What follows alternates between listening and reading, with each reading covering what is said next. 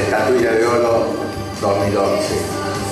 Esto nos da fuerza para seguir trabajando junto a los compañeros, junto a los compañeros médicos, los compañeros de obra social, los compañeros de sindicato, para, trazar, para tratar del año que viene o el próximo año estar también en las finales mejorando la salud para nuestros afiliados. Muchísimas gracias, estoy muy emocionado y voy a hacer un recuerdo muy especial, una mención muy especial para el ex secretario general Pedro Miguel Sileta que falleció hace aproximadamente un año. Gracias. Y hasta luego.